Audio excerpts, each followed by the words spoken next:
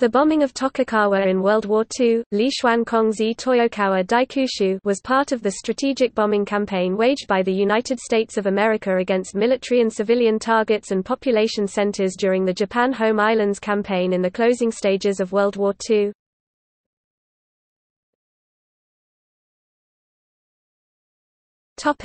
Background Although the city of Toyokawa was not a major population center, it had a major target of military significance, the Toyokawa Naval Arsenal Li Xuan Haijun Gongchang one of the largest in the Empire of Japan, which produced 7.7 mm machine guns, 13 mm and 20 mm aircraft cannon and 25 mm anti-aircraft cannon and associated munitions for the Imperial Japanese Navy. By February 1945, the facility had 56,400 workers and covered an area of 330 hectares.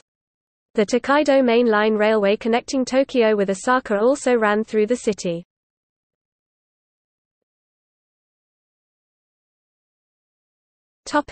Air raids Despite its obvious military significance, Toyokawa was not bombed until the very late stages of World War II. On 1 November 1944, a small-scale air raid occurred. This was followed on 23 November by a midnight flyover by a lone camera-equipped B-29 Superfortress on a reconnaissance mission. However, a major air raid did not occur until the morning of 7 August 1945. During this attack, 135 B-29 Superfortress bombers of the USAAF 20th Air Force, 58th 73rd, 313th, and 314th Bombardment Wings launched from Guam, Saipan and Tinian. They were joined by 48 P-51 Mustang escort fighters deployed from Iwo Jima. Arriving over the target area at 10.13 am, 12 B-29s bombed the Toyokawa Naval Arsenal, while the remaining bombers concentrated on Toyokawa's civilian population center, and the P-51 strafe targets of opportunity.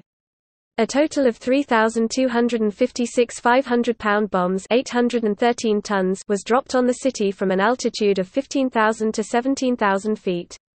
Civilian casualty estimates range from 2,544 to 2,677 people killed. Victims included 452 schoolchildren and teenaged girls, some of whom had been conscripted and many of whom had volunteered to work at the naval arsenal.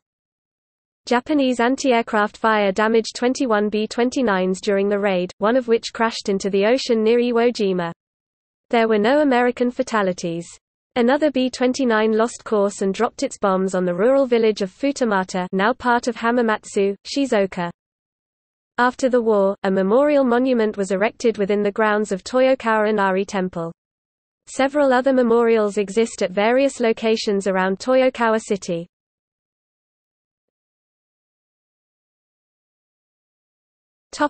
See also Strategic bombing during World War II